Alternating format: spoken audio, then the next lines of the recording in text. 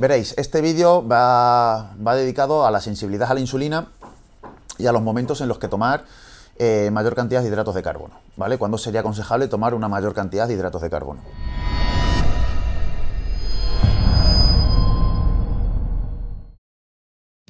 Normalmente todo el mundo, eh, o normalmente se dice, o sobre todo el marketing nos ha vendido, que después del entrenamiento es cuando más cantidad de hidratos de carbono deberíamos de consumir. En entrenamientos de ejercicio aeróbico, ahí estoy de acuerdo, ¿vale? O sea, ejercicios aeróbicos, la gente que hace un 10.000, es decir, la gente que hace ejercicio aeróbico con quema de glucógeno, sí que debería después de entrenar, eh, bueno, pues reponer todo ese glucógeno, ¿vale? Y más si lo que hace son entrenamientos diarios, que prácticamente a diario vacía sus reservas de glucógeno. Pero ¿qué sucede con el entrenamiento de pesas? Que parece que queremos adaptar eso al entrenamiento de pesas cuando no es así, ¿vale? Un entrenamiento de pesas en el que tú trabajas el pecho, únicamente vacías el glucógeno del pecho, ¿vale? Bueno, y de los músculos accesorios, como pueden ser el deltoides, el tríceps, etcétera pero además se vacía poco. O sea, no pensemos que un entrenamiento de pectoral de 20 series nos va a dejar por completo el pectoral vacío de glucógeno o nos va a ocasionar un gran gasto energético, no. De hecho, se estima que por cada serie fuerte efectiva de unos 8 o 10 segundos se pueden consumir unos 2 gramos de hidratos de carbono. Como veis es poco, ¿vale? Un entrenamiento de 20 series supondrían 40 gramos de hidratos de carbono. Y hay gente que antes de entrenar se mete 100 gramos de dextrosa, durante otros 100 y después otros 100, son 300. Entonces, bueno, eh, ahí es un poco exagerado esas prácticas, ¿vale? En mi opinión, deberíamos de tomar más hidratos de carbono, como ya he dicho en otros vídeos, cuanto más eh, alejado estemos de la sensibilidad a la insulina, es decir, en aquellas comidas en las que la sensibilidad a la insulina sea menor. Eh, esto ya también lo he explicado de refilón en otros vídeos, pero si tú después de entrenar estás muy receptivo a los nutrientes, no te hace falta una gran cantidad de insulina, ni mucho menos, para captar esos nutrientes. Entonces, ¿por qué tomar 100 gramos, 150 o 200 gramos después de entrenar, ¿vale? A mí me parece una, una exageración.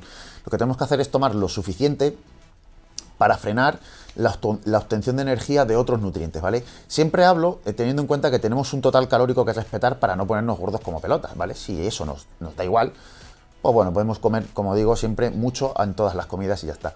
Pero si queremos respetar unos, unos márgenes para no, no añadir tejido adiposo, Creo que las comidas más altas sin hidratos de carbono deberían de ser precisamente la más alejada de los entrenamientos. Antes de entrenar no, porque nos podría ocasionar hipoglucemia. Después de entrenar no, porque somos ya muy receptivos.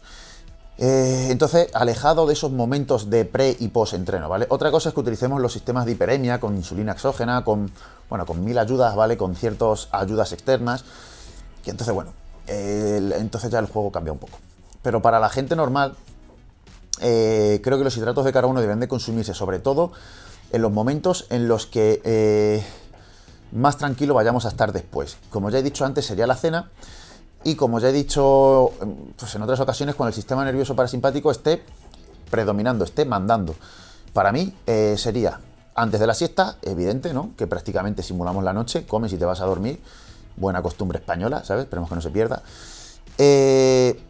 Ahí sería un momento cojonudo para meter gran cantidad de todos los nutrientes y otro sería la cena, ¿vale? Para mí esas deberían de ser las dos comidas más grandes, tanto en hidratos de carbono como en grasas como en proteínas. Justo las previas al mayor descanso que tenemos, que podría ser la siesta, la gente que se la eche, y la noche eh, antes de irnos a dormir, ¿vale? Entonces, nunca hay que olvidar que el, el mundo del fitness está muy mediado por el marketing, ¿vale? Y no vende y no queda bien decir que después de entrenar no hace falta tomar una gran cantidad de hidratos de carbono. Eh, desde luego la industria del fitness le viene mejor decir que hay que tomar un hidrato de carbono que esté modificado, que se asimile muy rápido. Y ojo, no es que no tengan razón en lo que dicen, sino que tienen razón en lo que dicen a medias, ¿vale? Eh, porque los, sacan, digamos, de contexto y lo ponen, eh, solamente cogen los datos que vienen bien para vender. Pero si atendemos a cómo funciona el cuerpo, el sistema nervioso, cómo nos beneficiaríamos de un mismo consumo calórico, ¿vale? Porque está muy bien decir después de entrenar hay que comer mucho, sí. Y antes de dormir hay que comer mucho, sí. Y antes de entrenar, sí. Y en el desayuno también, o sea, hay que comer mucho. Pero dentro de un margen calórico, que tenemos que elegir dónde comer más y dónde comer menos, como digo, en mi opinión, si a alguien le sirve de algo y le ayuda, sería antes de, de dormirnos la siesta, la gente que tenga la suerte de ello, y antes de la noche.